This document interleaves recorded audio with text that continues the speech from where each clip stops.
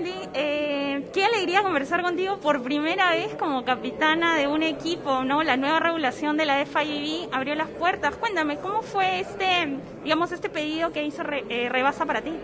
Bueno, eh, yo en Rebasa llevo varios años y las temporadas que he estado he sido capitana porque he sido jugadora pero el año pasado, como me pusieron el puesto de libero, no pude ser capitana y ahora de verdad estoy muy emocionada de que ahora de verdad puedan las liberos ser capitanas para poder ayudar a nuestro equipo, ¿no?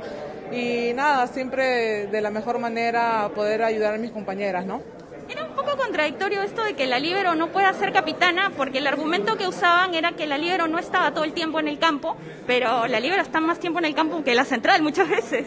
Claro, sí, eh, eh, es verdad, porque supuestamente siempre la información que manejaban era que como una jugadora no está permanentemente todo el tiempo en el campo, no podía ser, ¿no?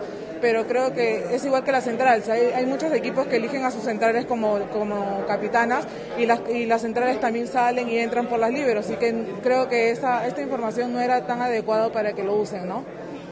Entrando ya un poco al torneo, ¿cómo ha venido esta preparación de rebasa? Les fue bastante bien, creo, en la Copa Chírcolo porque les sirvió para mover un poco el equipo y se van a encontrar con Géminis, que dicho sea de paso en la Copa Chírcolo les ganó.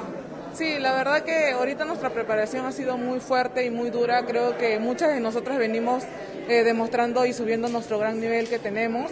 Eh, nos toca disputar con, contra, contra Géminis, que en Copa Círculo, si bien lo dices, este, perdimos, pero creo que tampoco estábamos completas. Nos faltaba Mari Carmen y, la otra extranjera para poder tener al equipo completo, pero creo que en esa Copa hicimos un buen, un buen papel también, ¿no? ¿A qué está apuntando Rebasa en esta primera ronda? Porque realmente es muy corto, los cuatro primeros son los únicos que van a tener chance para pelear el título.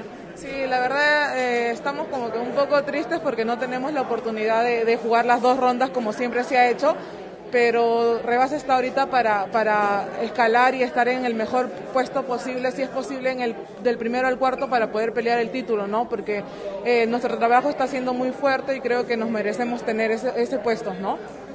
Muchas gracias, Wendy, y toda la suerte. Gracias.